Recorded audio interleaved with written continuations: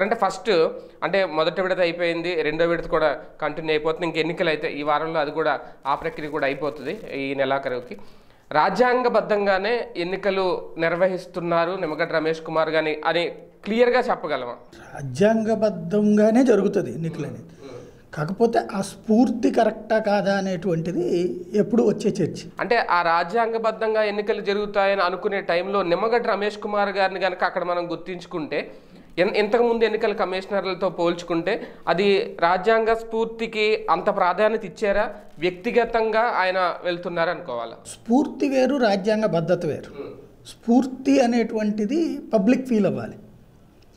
ఆ స్థాయిలో ఫీల్ నిన్నటిదాకా అయితే కాలేదు. ఇప్పటికీ కొంత సర్దుబాటు ఇద్దరి దగ్గర కొంత సర్దుబాటు. అంటే కాలం మారుస్తుంది. ఇప్పుడు ప్రభుత్వం ప్రతిదానికి మొండి వైఖరితో ఉన్న దాని నుంచి కొన్నిటికి ఇప్పుడు సర్దుకుంది. అట్లాగే ఈయన సర్దుకున్నారు. రాజ్యాంగబద్ధంగా ఉండేటువంటి శక్తి స్వతంత్ర శక్తే కానీ విచ్చలవిడి కాదు. ప్రతి ఒక్కరికి చెక్స్ అండ్ బ్యాలెన్సెస్ ఉంటాయి. ఇక్కడ ఈయన మొన్నటి చూస్తే మనం ఇద్దరు అధికారుల్ని నాకు కావాలి అన్నారు. అనడంలో తప్పలేదు కావాలి అంటంలో అది మామూలు సర్కమ్స్టాన్సెస్లో అయితే ఇస్తారు. అంటే సాధారణంగా ఒక ఎన్నికల కమిషన్ ఆ టైంలో అవసరం ఉంటుంది వాళ్ళకి ఎక్స్పీరియన్స్ ఉంది అన్నప్పుడు ఇస్తారు. అయితే ఇక్కడ ఇద్దరి మధ్య క్లాష్ టైంలో ఈయన కావాలి అని అడగటం ఒక ఎత్తు వాళ్ళని ఏకంగా పోస్టింగ్లు వేసేయడం మరొక ఎత్తు. ఇప్పుడు రవిచంద్ర నియామకం ఈయనంతటి ఈయనే తీసేసుకోవాలని చూశారు.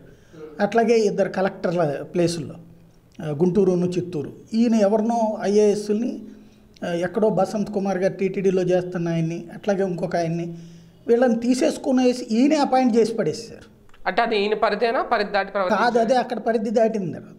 అక్కడే తేడా వచ్చింది. దానికి అపాయింట్మెంట్ ఒప్పుకోలేదు ప్రభుత్వం. ఏం చేసింది? యాజ్ ఫర్ నామ్స్ అయితే కనుక ముగ్గురితో కూడినటువంటి ఒక ప్యానల్ పంపించాలి. ఈయన ఏమన్నారు? యాట్ అట్ట కుదరదు నేను నియమించుకుంటానన్నారు. అది చేయలేదు గవర్నమెంట్. చివరికి ఏమైంది? ఈయన సర్దుకున్నారు. ఆ సర్దుకునేసి ప్రభుత్వం చెప్పినటువంటి ముగ్గురులో ఒకళ్ళని ఇప్పుడు రవిచంద్ర గారి ప్లేస్లో కనబాబు గారు వాళ్ళు ముగ్గురితో కూడి అట్లాగే కలెక్టర్ల దాంట్లో కూడా వచ్చాక అట్లని మళ్ళీ మొండిగా పోలా ప్రభుత్వం. ఈయన కోరుకున్నటువంటి ఆ బసంత్ కుమార్ గారిని టీటీడీలో పనిచేస్తున్నటువంటి ఆయన తీసుకొచ్చి నెల్లూరు ఎన్నికల పరిశీలకుడిగా ఇచ్చింది. అంటే ఈయన ఆధ్వర్యంలోనే ఇచ్చింది. అంటే ఈయన నా ఇష్టం వచ్చినట్టే మొత్తం ఉండాలి అన్న ధోరణి నుంచి సర్దుకోవడానికి రెడీ అయ్యారు. అట్లాగే ప్రతిదానికి అడ్డుపడతామన్నటువంటి ధోరణి అంటే ఆయన ఇష్టం వచ్చినట్టు చేయనీయకుండా అట్లని ఆపినట్టు కాకుండా అటు ప్రభుత్వము దారికి తెచ్చుకుంది. ఇక్కడ ప్రభుత్వము తగ్గింది అక్కడ. ఆ బసంత్ కుమార్ గారిని అసలు తీసుకోకూడదు. లాస్ట్ రవిచంద్ర గారిని అయితే ఈయన అడిగారు కాబట్టి ప్రత్యేకంగా ఇమ్మీడియట్గా టీకాల విభాగంలో వేసింది. అంటే ఆయన దీమంటే కనుక మాకు టీకాలు ముఖ్యమని చెప్తారనమాట అట్లాంటి స్ట్రాటజీస్ నడిపింది. అంటే మొండి పట్టుదల అనే అంశం ఒక ఇద్దరిని ఫస్ట్ నుంచి ఇద్దరి విషయంలోనూ ఉంది అది ఒప్పుకోవాలి. కానీ రాజకీయ పార్టీగా వైసీపీ ముండుగా ముందుకు వెళ్తుంది అంటే సదుద్దేశమో దురుద్దేశం ఏదో ఒక ఉద్దేశం ఉంది అందరికీ తెలిసిందే. కానీ ఈయన నిమ్మకల నిమ్మగడ్డ రమేష్ కుమార్ గారు ఎన్నికల కమిషనర్ ఈయన ఒక రాజకీయ పార్టీగా.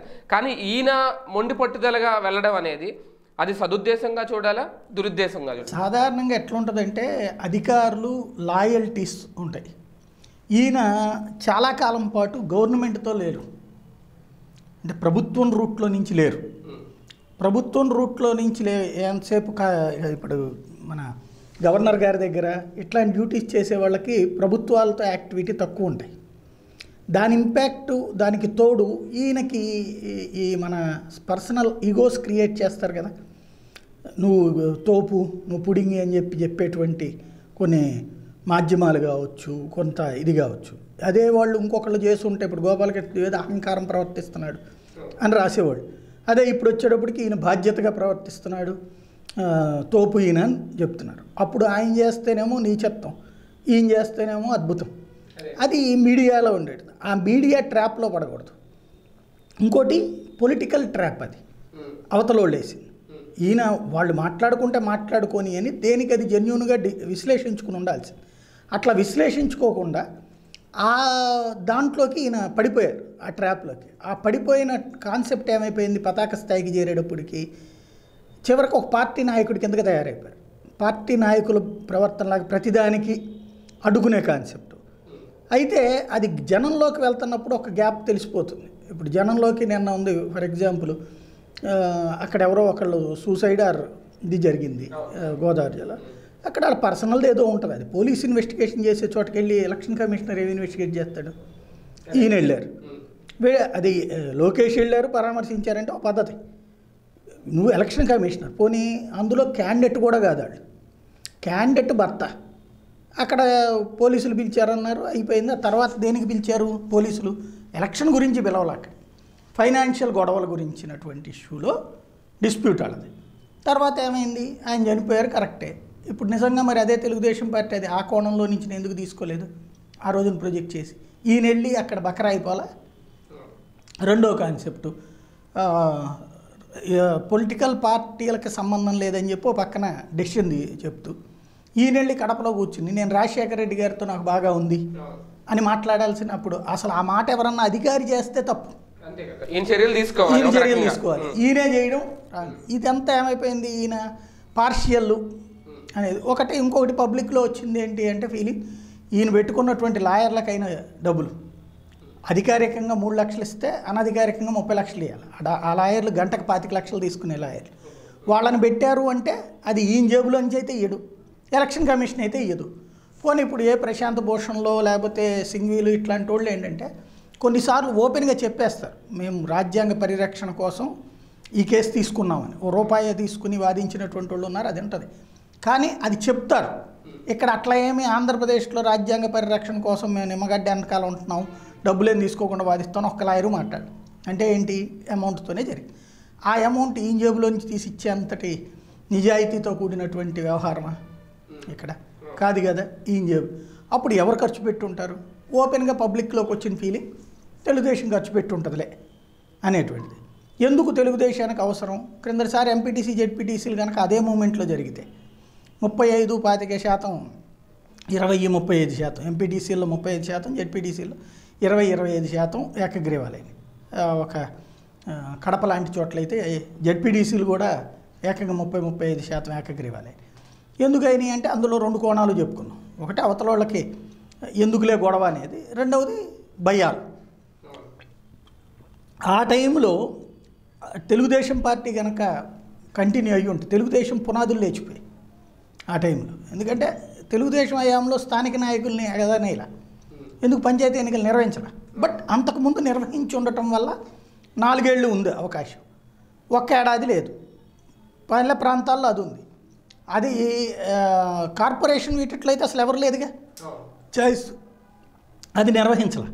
ఇప్పుడు నిర్వహిస్తున్నారు. నిర్వహిస్తున్నప్పుడు అక్కడ గ్రౌండ్లో బలంగా నిలబడడానికి ఎక్కడ ఉన్నారు ఆ సిచ్యుయేషన్ నుంచి ఈ గొడవన్నిటి తర్వాత ఇవాళైతే తెలుగుదేశం స్ట నిలబడింది కదా. సేమ్ టైం పంచాయతీలు ఏకగ్రీవాలు. మామూలుగా అయితే మొన్న అప్పుడు జరిగిన ఎంపీటీసీ జెడ్పీటీసీలో ముప్పై ఐదు ఇరవై శాతంతో పోల్చుకుంటే ఇప్పుడు ఇరవై శాతం దాకా వచ్చినట్టున్నాయి టోటల్గా. రెండు వందల ఇరవై ఫస్ట్ ఫేజ్లో రెండు వందల ఇరవై జరుగుతుంటే దాదాపు అరవై ఏమో ఏకగ్రీవాలు అయినాయి. అంటే దాదాపుగా ట్వంటీ పర్సెంట్ రేంజ్లో అయినాయి. రాష్ట్ర వ్యాప్తంగా లెక్కేసుకున్నప్పుడు. గతంతో పోల్చుకుంటే ఎక్కువే. ఏది కిరణ్ కుమార్ రెడ్డి హయాంలో జరిగిన ఎన్నికలతో పోల్చుకుంటే ఏకగ్రీవాలు ఎక్కువే ఇప్పుడు. కానీ మొన్న ఎంపీటీసీ జెడ్పీటీసీలతో పోల్చుకుంటే తక్కువే. కాబట్టి అందులో ఈయన సక్సెస్ ఉంది ఈయన ఫెయిల్యూర్ ఉంటుంది. సక్సెస్ ఏంటంటే ఆ స్థాయిలో జరగల. అంటే తెలుగుదేశం పార్టీ ఆశించిన లక్ష్యం నెరవేరింది.